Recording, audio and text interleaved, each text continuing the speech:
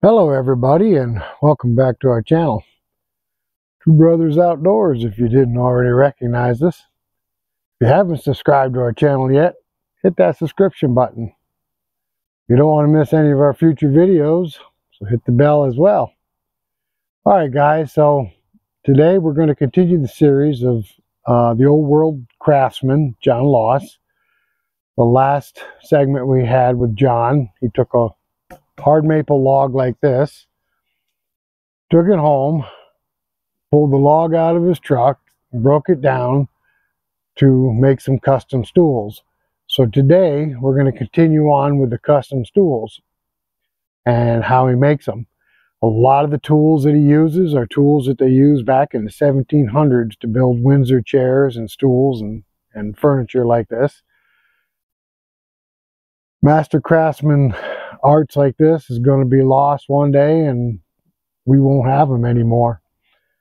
All right, so as a bonus, somewheres in this video, I'm going to put a segment in of John putting together a Windsor chair that he's already made all the parts for. I think you'll enjoy that as well. If you see anything in these videos that John makes that you'd like to have made or would you, you would like to buy, you can contact us and we can get a hold of John for you directly. All right, guys. So with a log like this, let's see what John is up to today.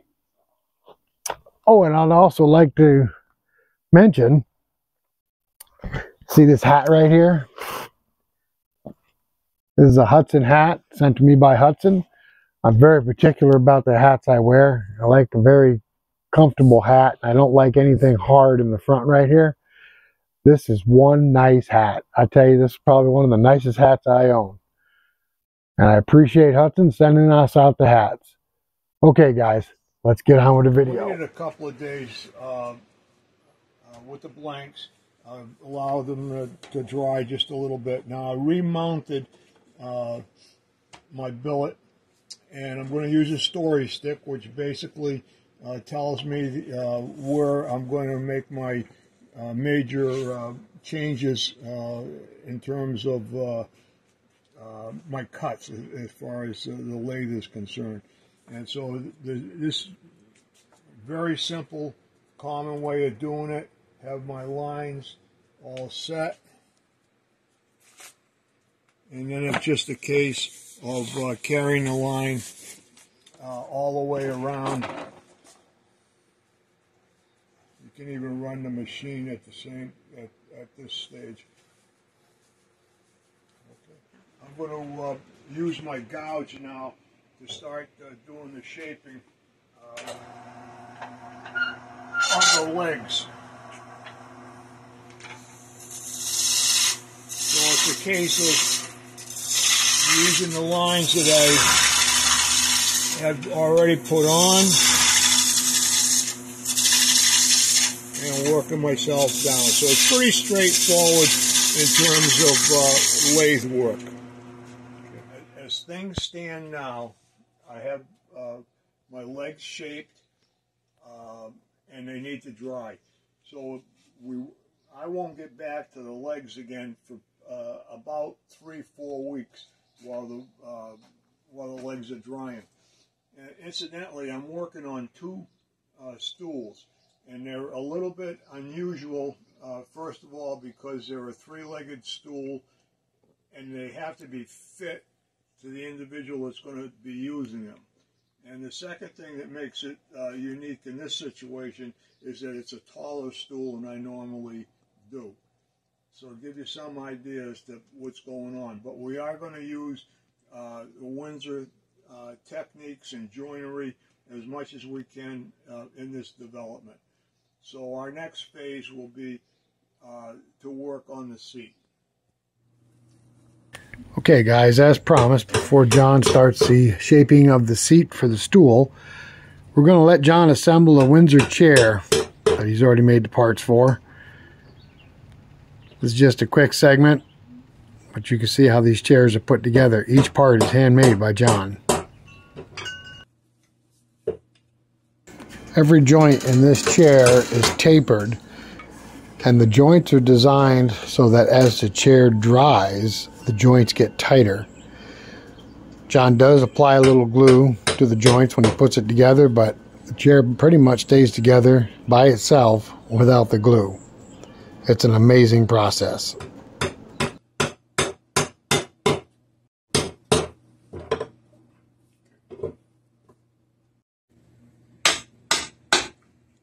As John turns this chair, you will see how the chair seat is shaped to fit the human anatomy. Now, we'll watch how he does this process on the stool seat after this segment is over.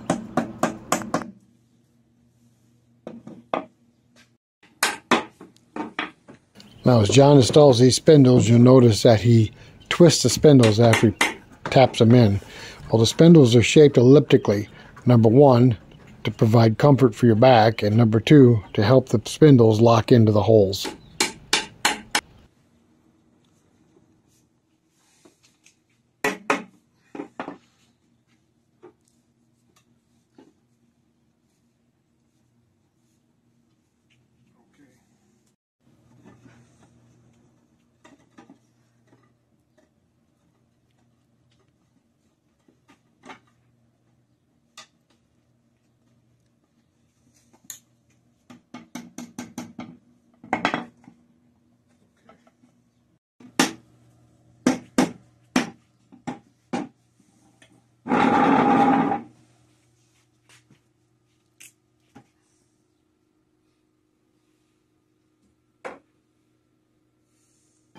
Most chairs and most stools that John builds are finished in milk paint finish. And we'll get John to explain that finish in a future video. I have two pieces of uh, uh, white uh, pine uh, glued together uh, to give me a wide enough uh, space for my seat. using a template, or I used a template to draw out uh, the seat, and I cut it out with uh, the bandsaw. Now at this stage, I'm going to uh, take the bandsaw marks out with the spoke shave. All I'm trying to do is get a smooth surface, and I do use two different spoke shaves. One takes off a little finer uh, shavings than the other one does. And then we will commence uh, with the next stage in the process. Okay. I have my markings on my uh, seat, and what I'm going to try to do, this is a two-inch uh, piece of pine, and uh, what I'm going to try to do is to uh, chamfer one part of it so that it reduces from the out uh, uh, from observation that it's actually thinner than what it looks like, or looks thinner than what it actually is. So this is all draw knife work at this stage. You can take a, a lot of wood off in a very short period of time with the draw knife. And I'll follow up draw knife with the spoke shave.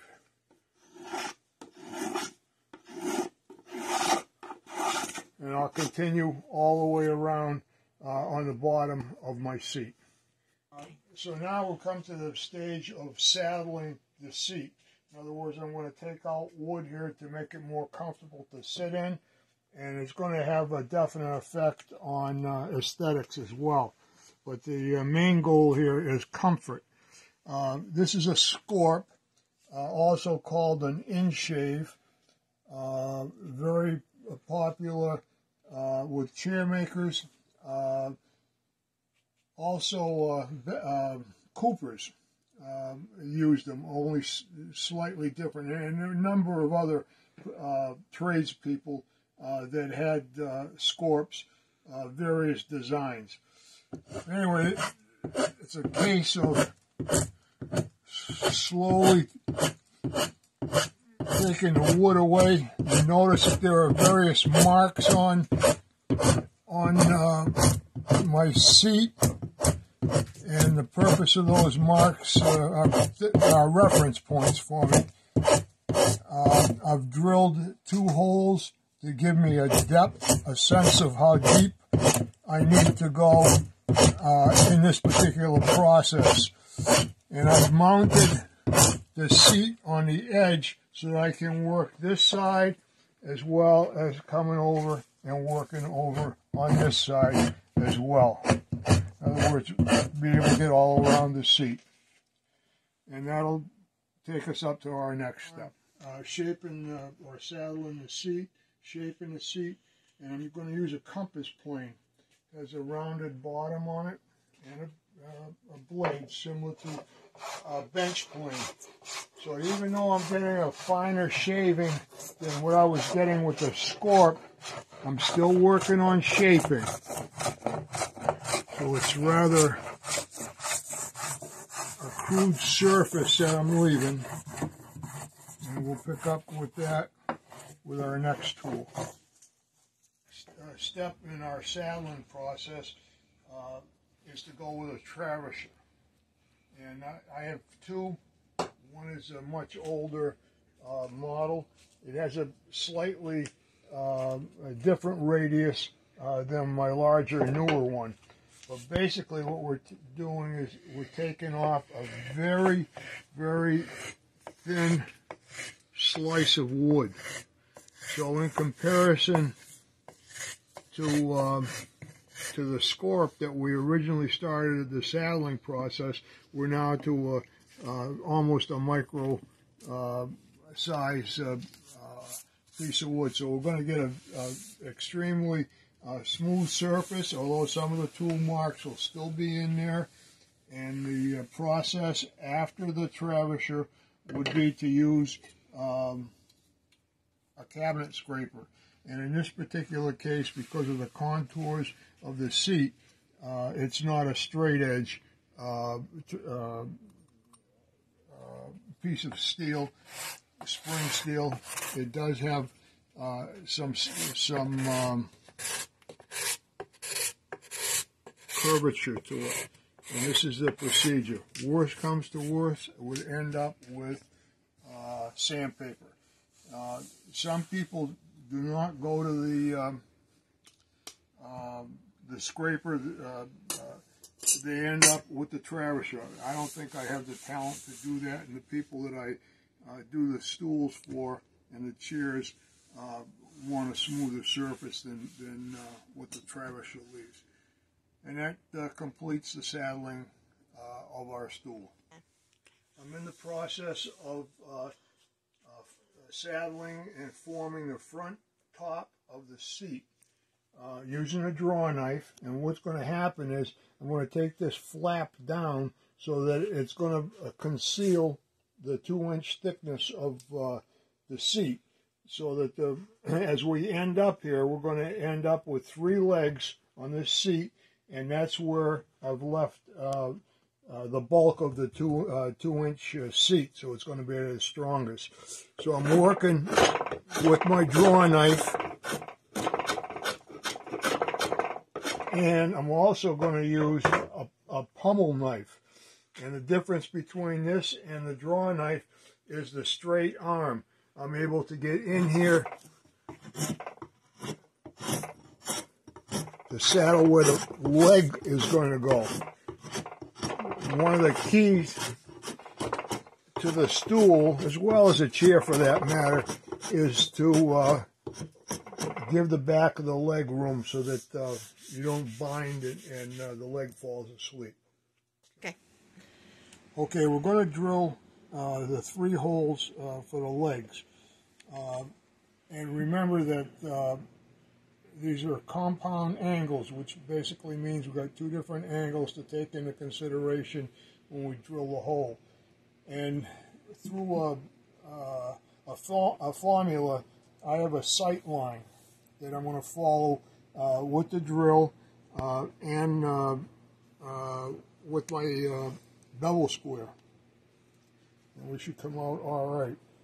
Now, underneath, I have two uh, backer boards with the idea that I'm to prevent uh, blowing out the hole at the other end.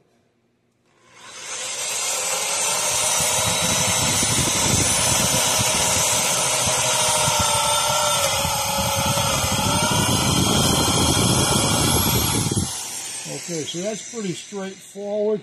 Uh, the next step will be uh, uh, to turn over the, the stool and uh, fit the legs to it. So that's where we'll stop right now. The process of uh, fitting uh, the leg to the stool. with the chair as well, we'll call it legging up. This is a meticulous process can't rush it. This has to be perfect. So I have a reamer. I'm going to uh, increase the hole. Remember we drilled the hole from the, the top of the seat. Now I'm working at the bottom of the seat.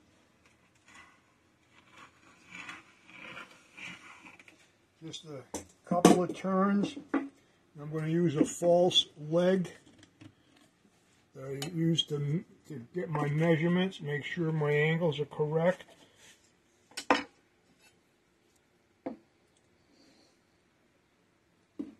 make an adjustment.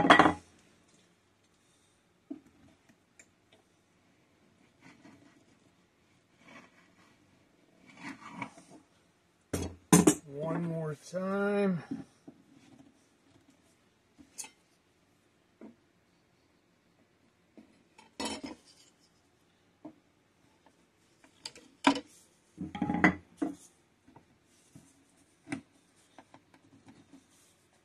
and my leg fits.